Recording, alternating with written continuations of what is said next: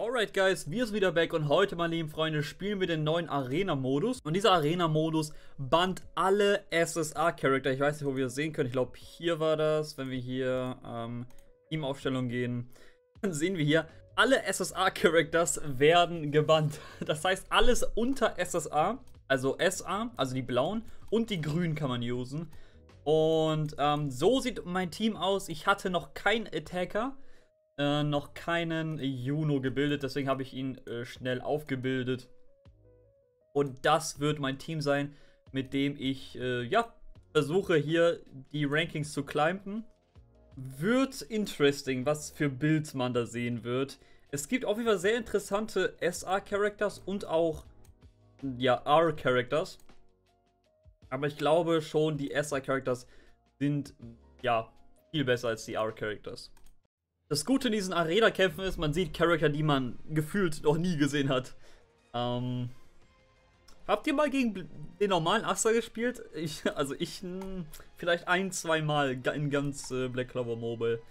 Ähm, aber dann Juno habe ich auch schon mal gesehen. Die spielt man in Raids, also halt in diesen ähm, schwierigen. Und die habe ich auch mal gespielt, also ja. Sieht nach einem interessanten Team aus. Ich gebe uns äh, Mobility. Dann schauen wir mal, was wir machen können. Ich werde direkt rein ulten. Was macht er heute Ult? Handlungsunfähigkeit, 60% für zwei Runden, hört sich gut an. Ist auch wieder sehr stark, weil es eine AOE ist.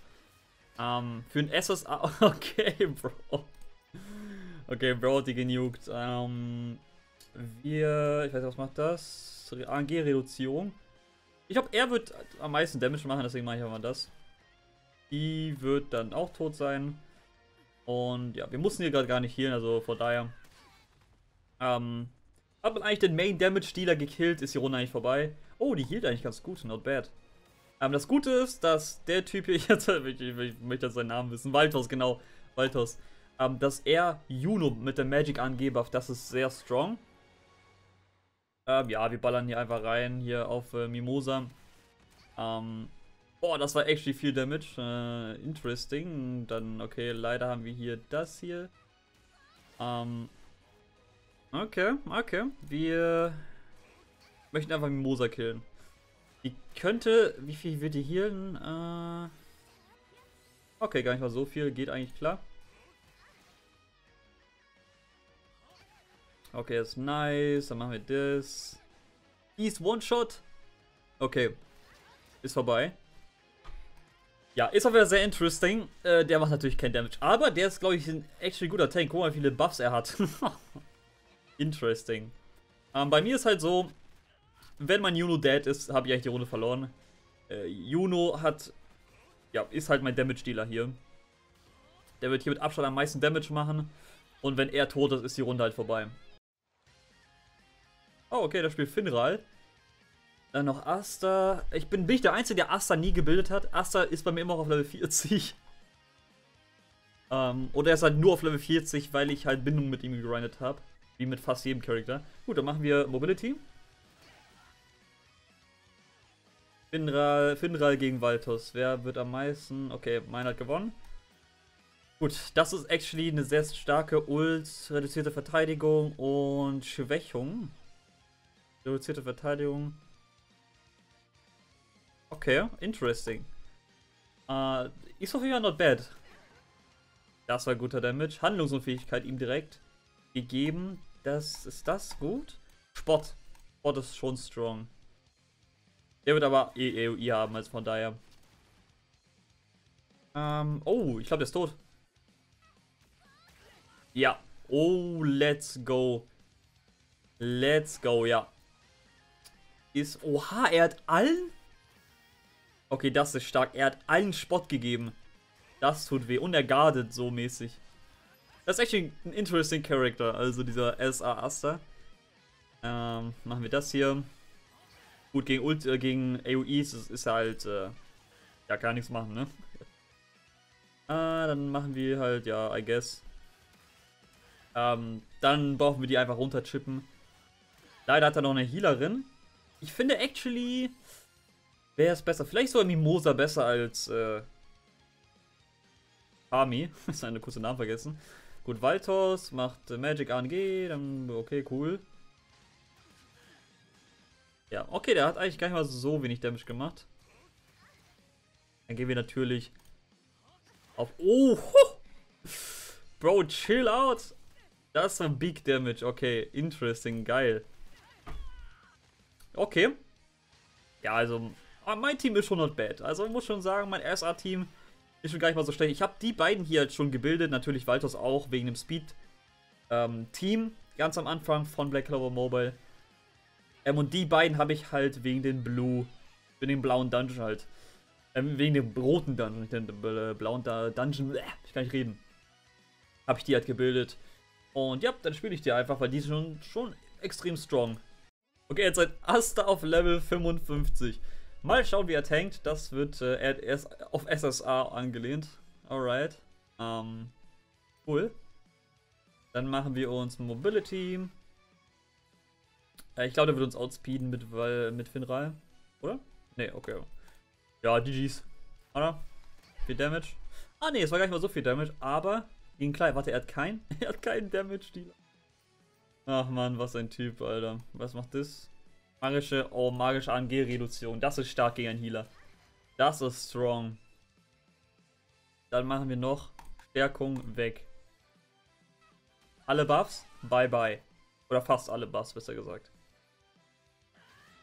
Bitte, okay, er. Hm, ach nein, er hat ihn auch spottet, schade. Ähm, okay, das hat er auch. Er. Hier trotzdem so viel? Junge, insane. Okay. Okay, okay, interesting, interesting. Dann machen wir halt die AoE-Attacke. Nice, das ist strong. Sehr strong. Dann Spott geben wir. Also keiner von dem macht Damage halt, ne? Also es ist so dumm von dem, dass er keinen Attack... Aber warum lieber kein Attacker, Digga? Ich habe extra Juno für mich, also halt, äh, gebildet. Aber ich hatte auch keinen Attacker. Weil meistens hatte man halt einen besseren SSA, den man früher gebildet hat. Ähm... Ja, dann habe ich ja ein paar Ressourcen verwendet, um Juno ein bisschen zu bilden. War der schon not, not bad auf jeden Fall, ja. Ich glaube, der ist einer der besseren SSAs. Boah, geil. Das ist, das ist das richtig coole Ability von Juno. Dass wenn er einen killt, macht er einen AoE-Angriff nochmal. Und das ist extrem strong. Und die wird ein bisschen healen, glaube ich. Genau. Dann killen wir die einfach. Und ich denke, man kann hier nicht falsch bilden. Hauptsache, ihr habt einen Attacker, einen Speed oder einen Supporter halt, der euch Speed gibt, Finral oder Valtos. Ähm, ich denke, ohne die könnt ihr hier gefühlt nicht überleben. Ähm, ihr würdet wahrscheinlich sterben. Äh, dann am besten vielleicht halt ein Healer, das auf jeden Fall. Und sonst vielleicht ein Debuffer oder ein Tank. Ohne die würde man hier, glaube ich, äh, aber ich glaube, ich habe auch jeden Max duped außer Juno. Und Juno hat auf äh, hier Luck. Der hieß hier Luck. Interesting. Ich habe absolut keine Ahnung, was er macht. Ähm. Ja, ich glaube, der ist tot. Type Advantage gegen Luck und ja.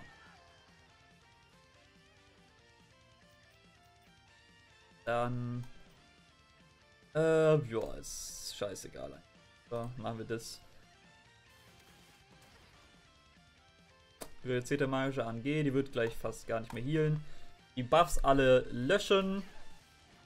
Ja, Finral ist auch eigentlich gleich dead. Ähm, das Nervige ist halt for real Aster. Wenn man ihn tanky bildet, dann wird die Runde so lange dauern. Um, okay. Könnte actually... Ah, nee, Finral macht aber ANG, oder? Macht er alle ANG? Ne, er erhöht ANG.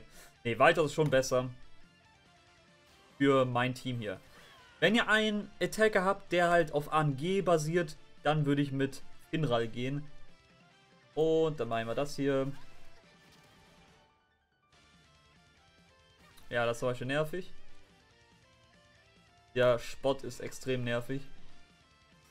Würde ich viel healen? Ja, geht. Die hat ganz gut gehealt eigentlich. Okay, der hat keinen Spot bekommen. Dann, okay, die wird er will nicht killen. Oh, das, das ist sehr gut. Machen wir das. Wird die killen? Nein, aber die hat Sport gemacht. Das ist not bad, actually. Die healt. Okay, das war actually gar nicht mal so schlechter Heal. Aber ja, die Runde ist hier vorbei für den Kollegen hier. Ah, machen wir Boom. Oh man, schade. So, ja, sollte eigentlich vorbei sein. Hm, ich finde eigentlich solche Arenen ganz interessant. Und ich würde auch auf jeden Fall empfehlen, das zu spielen. Das ist einfach Free Rewards. Und ich finde, das macht tausendmal mehr Spaß als der normale, ähm, ja, normale Ranking-Ding, was wir haben, also normale PvP. Weil das hier halt Abwechslung hat. Double, vielleicht soll ich das ausspielen. Double Speed Buffer. Das ist ultra nervig. Aber was auch immer. Was soll man tun? Was soll man tun? Der wird mich outspeeden. Das ist schade, aber ja.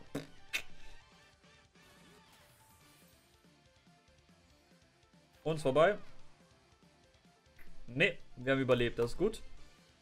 Ist bei dem vorbei? Ja, ja, geht doch. Doch, das geht eigentlich klar. Wir gehen auf Finral. Ich glaube, der wird sogar sterben. Ja, das war guter Damage, actually. Wir healen, glaube ich. Ja, wir healen einfach mal. Stark. Nice Heal. Äh, macht der Spot. Ja. Oh, der ist der guarded jetzt. Okay. Okay. Doch, der hat doch Spot gemacht, bin ich dumm? Oder nur... Nur Valtos. Okay. Dann machen wir das hier und die Runde ist vorbei. Ja, wie gesagt, sehr interessanter Spielmodus. Äh, ich freue mich auf mehr von solchen Sachen, weil äh, das normale PvP-Ding spiele ich nicht mehr. Also, hm, sowas ist ganz schön erfrischend. Auf jeden Fall auch mit sehr guten Rewards, die wir uns jetzt anschauen werden. Wir äh, überblicken nochmal kurz, welche Rewards wir hier haben. Ähm, oh, ja, das, das. Oh, oh, Wunderbar. Ähm, für die Endgame-Spieler, das ist, das, das sieht doch wunderschön aus, oder? Dafür lohnt es sich schon zu spielen für die Zubehör-Aufwertungssteine. Da haben wir noch Zubehör-Beschwörungstruhe. Leider kein... Oh. UA bis LA. Ja. Lohnt sich das? Was sind die LA-Drop Rates? 0,07! Ja, okay. Ja, äh, das sieht nicht so geil aus. Wenn das einfach ein... Warum, warum gönnen die nicht so? Wisst ihr? Warum gönnen die nicht das muss nicht mal eine Auswahltruhe sein, aber wenigstens ein LA-Zubehörteil. Ja, Ausdauer ist extrem nice. Die Joule, ja, kann man machen, wenn man Joule-Mangel ist. Nice, das ist sehr schön.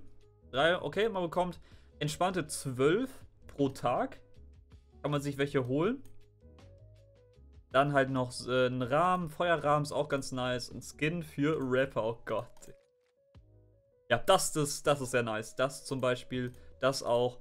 Und das lohnt sich, glaube ich, nicht mehr so viel, so krass. Aber da würde ich sagen, W-Shop. Ich würde sagen, spielt das, äh, spielt dieses Event, lohnt sich auf jeden Fall. Dann würde ich sagen, danke fürs, fürs Zuschauen und